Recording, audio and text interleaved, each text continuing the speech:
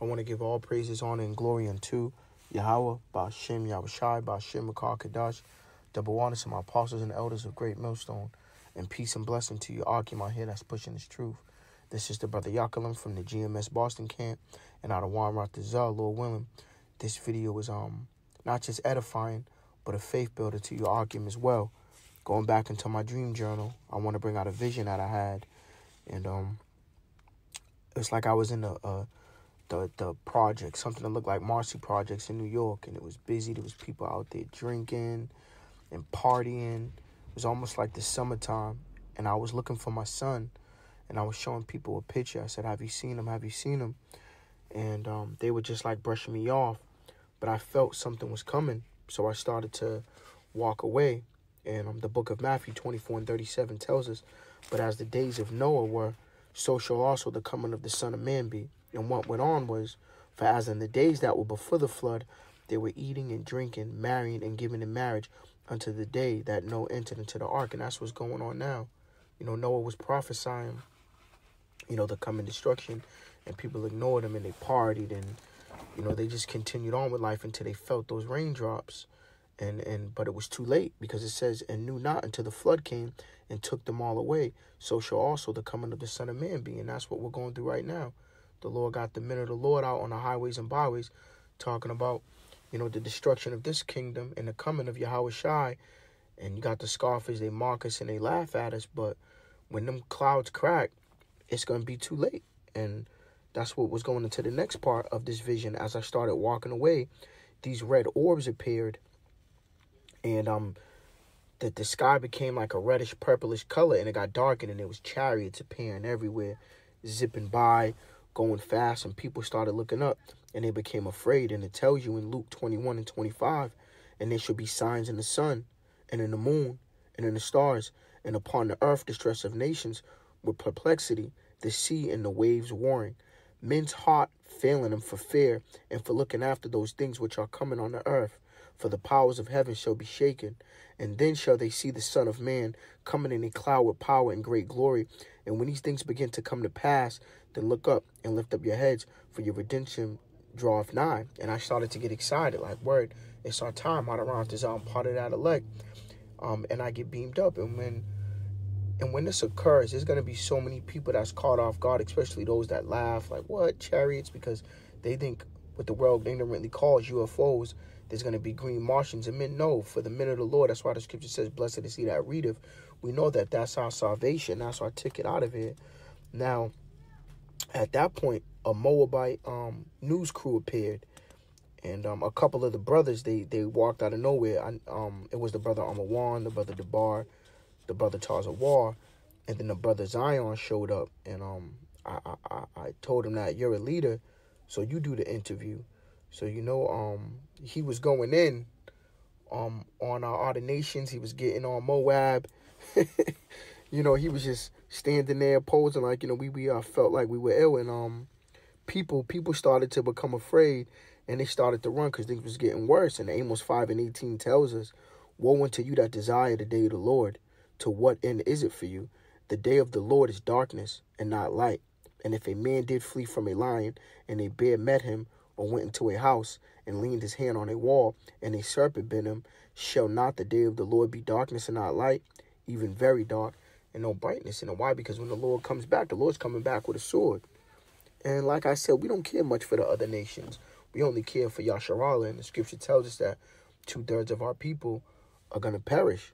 And, and, and people then got so caught up on that Christian doctrine that the Lord's coming is going to be a so called white man and it's going to be a loving and beautiful day. But once again, blessed is he that readeth. If you were into the scriptures and the Lord put that spirit on you to sup with you, you would understand that it's a day of darkness. And um, going back into that dream, um, I turned around and I realized I wasn't going to find my son. So I shed a tear and then I prayed that the Lord would have mercy on him. And um, I want to go to Romans 9 and 15 because it says, For he saith to Moses, I will have mercy on whom I will have mercy, and I will have compassion on whom I have compassion. So then it is not of him that willeth, nor of him that runneth, but of Yahweh Bashim Yahweh that showeth mercy. Therefore have ye mercy on whom he will have mercy, and whom he will harden. And that's us, brothers. You know, we come to that realization that we want salvation for ourselves, but we only pray that the Lord has mercy on our children, on our seed, or or or the wives that we deal with on this side. But ultimately, it's up to the Lord, and that was that understanding. So the dream at this point is shifted, and I was back in them same projects, but it was cold and it was empty. There was no noise. The the, the windows looked black, and we came across a tall building. And when I um, you know, when I looked up, something felt different. So I jumped and I leaped all the way to the top of the building, and I was like, I don't even know how to put it in terms, like excited. And then the other Archeum, they jumped up too, and we were saluting each other. We was praising the Lord, and the scripture tells you in Isaiah 30 and 31, but they that wait upon the Lord shall renew their strength. They shall mount up with wings as eagles. They shall run and not be weary, and they shall walk and not faint. And then we was on top of this building. It was like a penthouse um, on that project building. All of a sudden, the door opened up, and these Edomites, they were in shock. And when we looked in, we seen a whole bunch of screens of cameras. It looks similar to that um, to that scene in the first purge when those Edomites were in that room watching all the chaos and they were shocked and then they had a shelf full of like top shelf henny and shit. So um the Archeum we all grabbed the henny and we started drinking it and we was laughing at them and then we um jumped off the building and we landed and they were still frozen. And then as we proceeded, we came across this camp and um with our people in it and it was two dirt niggas. I'm gonna say just like that and just like what I read earlier in the book of Matthew 24 and 37, even when chariots were in the skies and orbs and shit was going crazy, you still had niggas partying. And um, my brother Tarza Wall, he was talking to a girl, and this boxer dude came up um, flexing. So I said, let's go. And on the way walking, um, I grabbed this girl, like, you know, you might as well come with us. And she said, never, nigga. So the brothers I in, you know, he choked her out. He choked the life out of her. Um, um, I mean, he called her a prideful bitch. And then um, the boxer dude tried to run up. So I grabbed him um, by the throat. And when I grabbed him and went to throw him back, he literally turned in the paper into my hands. And um, everybody at the party turned pale white, like a bright white in fear. And, and, and men were holding their stomachs and they fell to the ground. And women, they were shaking, they were petrified. And, and, and, and um, you know, we, we um knew that something was um something was different. And Jeremiah um 30 and 6 tells us, Ask ye now and see whether a man doeth travail with child. Wherefore do I see every man with his hands on his loins, as a woman in travail, and all faces are turned into paleness. Alas, for the day is great, so that none is like it. It is even the time of Jacob's trouble, but he should be saved out of it. And, and people are going to do this when they see the chariots. You know, when they see their, their, their children lying out on the streets like the scripture was going into Jacob's trouble. What more for the Archeum that the Lord are going to guide through and, and, and give spiritual powers and they're going to see the wonders of those men. And that's what happened in this part of the vision. And then, um, you know, I, I, I want to bring out Psalms um, 110. I'm going to start at 1 with the points in 3. It says, A Psalm of David. The Lord said unto my Lord, Sit thou at my right hand until I make thine enemies thy footstool. The Lord shall send the rod of thy strength out of Zion. Woo thou in the midst of thine enemies. Thy people shall be willing in the day of thy power, in the beauties of holiness, from the womb of the morning, that thou hast the dew of thy youth. Women, um, that was going into women. Those same females, the ones that were standing in the back, they started coming up to us and they started wanting to come, and we brushed them off because Isaiah 4 and 1 tells us that in that day seven women shall take hold of one man, saying, We will eat our own bread and wear our own apparel. Only let us be called by thy name to take away our approach. Because they knew who the who basically who the true power was. They was hanging around that boxer, hanging around two dirt niggas, they was flexing. But once the Lord, you know, to us, we have revealed that power. They knew what true power was and they wanted to be around it. But once again, what I brought out in Psalms 110 and 3, it's because Thy people shall be willing in that day of that power. Then that day, you know, even when Yahweh Shai appears with those um chariots, then people are gonna want to get in order. But it's gonna be too late. And then we walked away, we didn't take none of them um broads with us. But then when we walked away, um, it's like the dream shifted and we was walking across this body of water. It was so clear, but we can see a reflection of a mountain.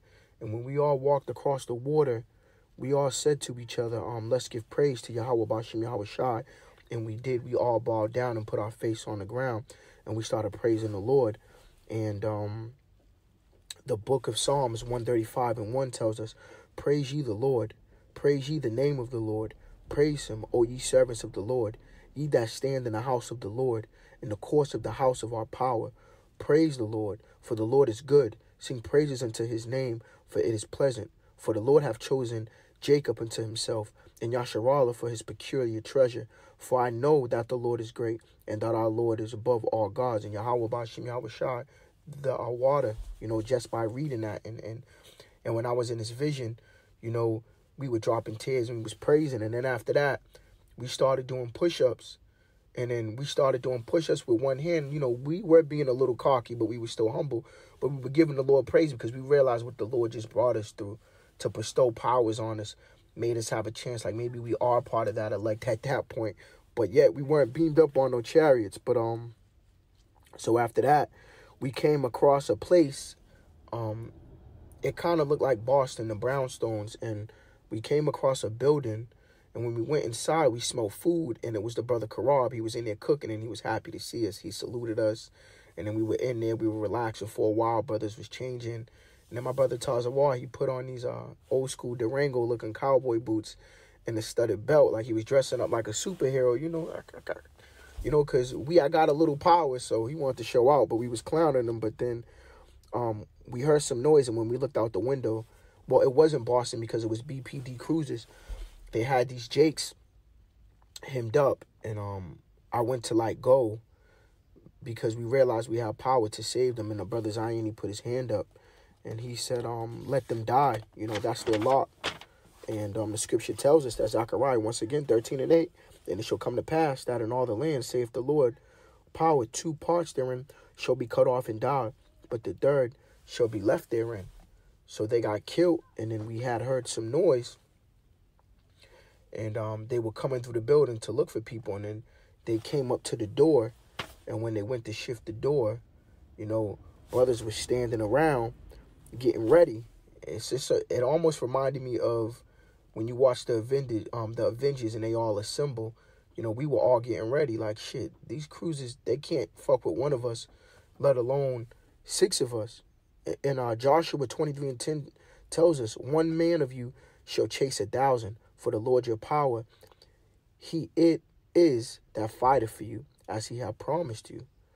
And when you go back and think about our forefather, um, you know, you think about King David, you think about his mighty men, how it was just them taking about um taking out hundreds. You think about um oh I forgot his name, his name just escaped me. Um you, you think about Samson, you know, you think about Matthias and his son, sons, you know, we come from great warriors. And the Lord always showed his works in a small multitude. And, you know, it's going to be like that in that day. When the Lord really turns stuff up, those those those men Rontazo, we always say, Lord willing with him, when we're given those powers, the Lord's going to let us act up. But he's going to act up first. That's why the scripture says, you know, the Redeemer of Yasharala, because he's going to show us how it's done. He's the ultimate Judite. And um, so at that point, when they grabbed the door, I got amped like word, but then the Lord didn't want me to see the rest of that. So I woke up and um the vision was done. But I want to bring out these uh two precepts. This is second Ezra 16 and 70 because it says, For there shall be in every place and in the next cities a great insurrection upon those that fear the Lord. They shall be like madmen, sparing none, but still spoiling and destroying those that fear the Lord. For they shall waste and take away their goods and cast them out of their houses. Then shall they be known who are my chosen, that they shall be tried as the gold in the fire. Hear, O ye my beloved, saith the Lord. Behold, the days of trouble are at hand, but I will deliver you from the same. Be ye not afraid, neither doubt, for the Lord is your guide. And then I'm going to um, go into 2nd Ezra 15 and 14. Woe to the world and them that dwell therein, for the sword and the destruction draweth not. And this is the time that we're living in, with all these prophecies all happening at once. The only, the only, the only, um, damn, what's the right term to use, Arkham? The only way that we're gonna get through this is through Yahweh Bashim, Yahweh Shai, and Him having mercy on us. So that's why Akim, we always say pray, fast, and prepare ourselves because there's a battle ahead of us. And a lot of people are going to be caught off guard. And the Lord gave us a chance to to to I know what's coming, like the scripture shortly paraphrasing said, because ye are my friends, I shall tell you these things.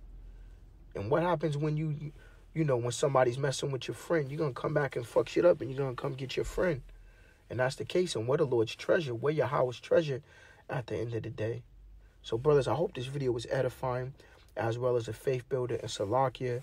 I've been a little um you know slow on bringing um out more of my dreams in my journal and um at the end of the day everything's the spirit of the Lord and I want to say the water um to Amawanga Bar for the Lord putting the spirit on him to do that quick show about living up to your name and that's what the name Yakalin means he dreams so I'm to give all praises honor and glory unto Yahweh Bashim Yahushai Bashim Makar Kadash double honor to my apostles and elders of Great Millstone and peace and blessing to you Akim and Akwaf that is sincerely tuning in and you want to be saved, just, just pray the Lord has mercy. Till next time, Yasharala Shalom.